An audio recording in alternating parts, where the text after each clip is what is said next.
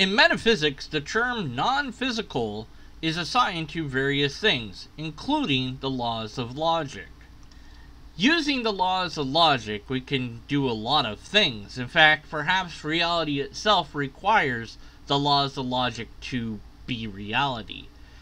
These things are fundamental principles of how things work.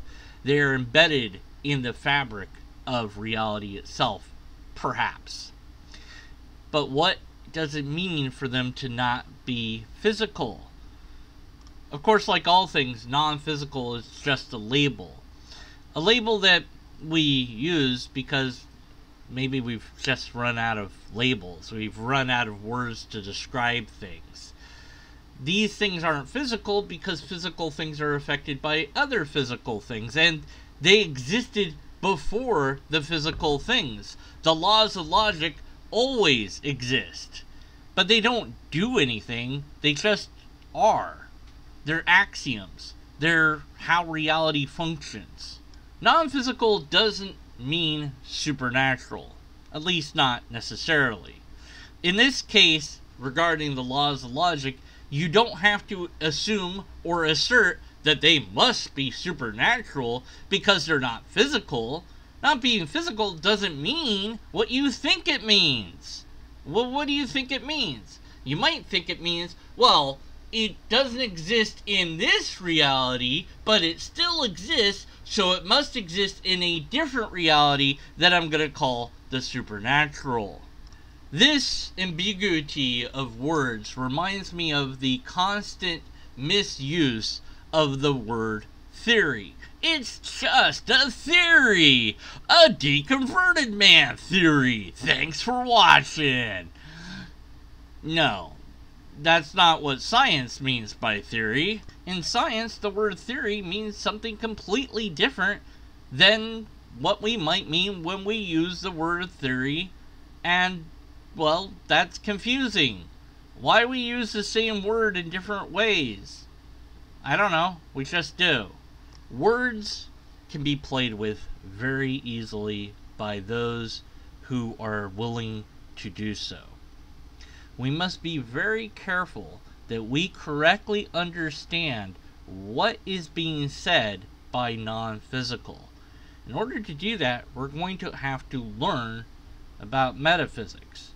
And that's something that some people just aren't interested in, they don't want to do, or maybe they gave it a glance and felt, eh, that's good enough. I, I have learned enough, I don't need to learn more. But that's very dangerous because people will use your lack of knowledge against you. They'll use your lack of knowledge to make an argument that seems to be perfectly reasonable, but in fact isn't reasonable.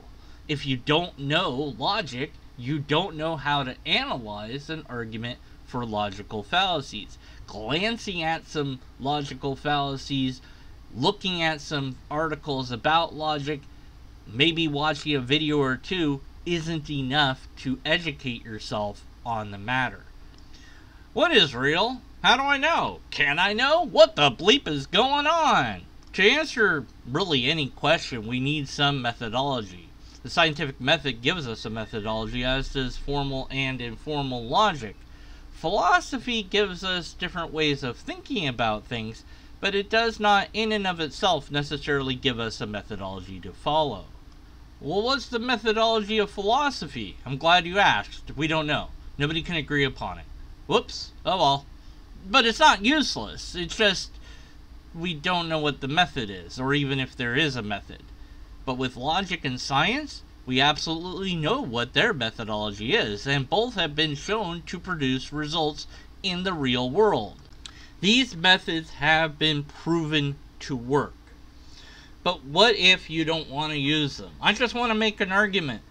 And that's it. Well, fine, you can do so. But when we go to examine your argument for logical fallacies, well, we're going to have to not use logic by itself. We're going to have to verify with the real world on whether or not your premises are actually true or not. And if you want to verify something in the real world, well, how are you going to do that? Is a third system possible? Maybe. as far as I know, no one's developed one yet. If you want to try to, great. But it's going to have to make predictions. It's going to have to have some models. It's going to have to have formulas. It's going to have some methodology that you can use to show that it results in a correct result. God can't be proven using science. I've heard this many times from apologists. God is not a scientific thing. God isn't science. God isn't physical. See? You're asking something that I can't give you. Maybe God is like the laws of logic. They're not physical. God's not physical. They're in the same category. But the laws of logic have no mind. They're not agents. They can't do anything or make anything. They can make no choices. And for some, God has to be a thing that is able to make choices and decisions. It has to be an agent. It has to have a mind that is somehow separate from a brain. Although we've never seen such a thing. Nonetheless, God has to be a mind that somehow is not physical. What does it mean that a mind isn't physical? The only mind that I know about is, well, our mind, the human mind, and, well, other animals' minds, but nonetheless, this is something that needs a physical thing to be a thing in the first place. To say it's not physical is incorrect. It's an emergent property of the things that make up it, and without those things, it can't be. Or so I think. I could be wrong. Maybe the mind truly is a spirit that simply exists on its own, independent of anything else. But we would need to prove that. How do we prove that? Well, we can't prove it, you see. It's not something that's provable because it can't be tested. It can't be verified in any way, shape, or form. You can't see it because it's not physical. You can't do measurements on it. And so you just have to believe in it. And that is what faith is it's belief in something that you don't have any way to prove. You might think you have an argument for it, you don't. You might think you have evidence for it, but you can't have evidence for it because if you had evidence, you wouldn't have faith, you'd have a fact. My go to quote has been and will continue to be I don't need faith, I have facts. On the flip side, when you have faith, you don't need the facts. You just believe in stuff. It's simple, it's easy to understand, and so it's comforting. I don't need to understand the complicated world that is out there. I can just believe it all makes sense in this very easy to understand way that I have happened to found in this particular religion that I happen to belong to which of course is the right religion, and all the other religions are wrong. And all that confusion doesn't help us progress further as a species. I'm very, very worried about us humans. I'm worried that we're destroying our world. I'm worried that we don't believe in facts. I'm worried that we rely way too much on stories and myth to guide us rather than the actual reality that confronts us. And I do understand challenging our notions is very difficult. I'm very compassionate towards my fellow humans. I understand why they believe as they do. But I have to try my best to get people to learn and understand informal logic. The way I'm going about it doesn't really make any sense.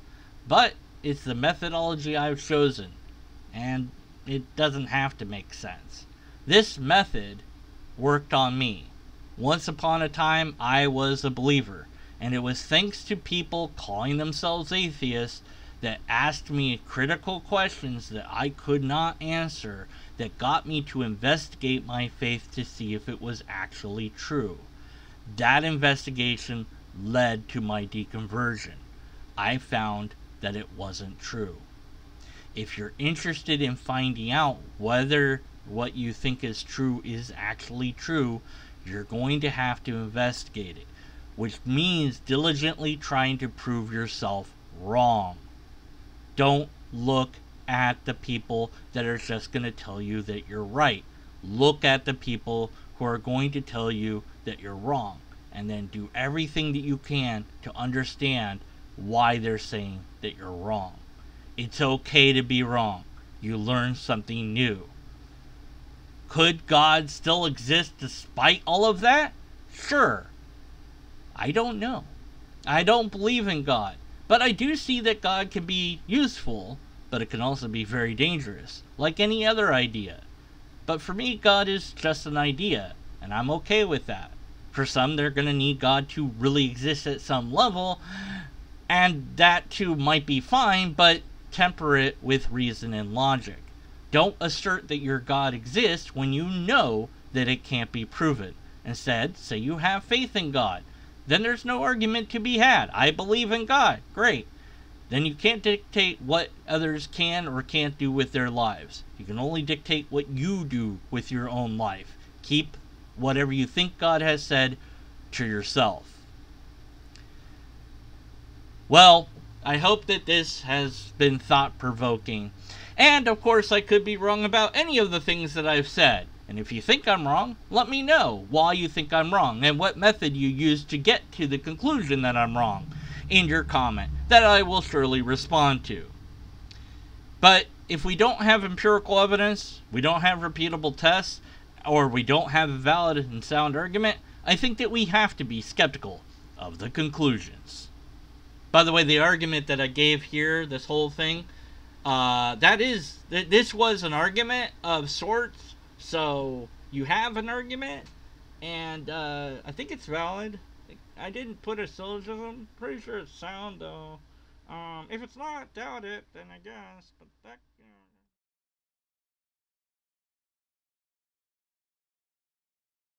Well, maybe God is like the laws of laws of.